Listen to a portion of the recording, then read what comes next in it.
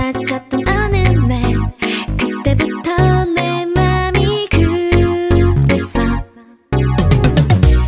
어색해는 도저히 못 마주치고 인사 한마디에도 말을 더듬고 돌아서면 답답했어.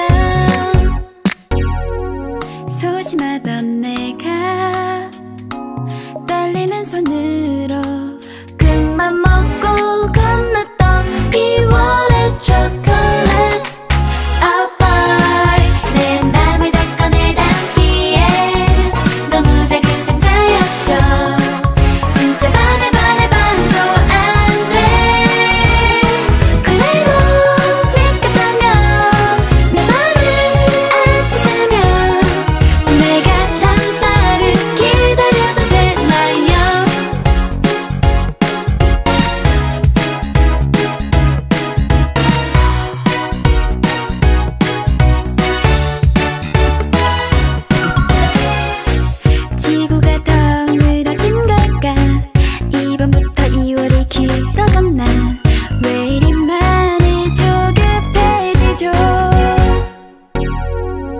혹시 내가 너무 부담을 준 걸까?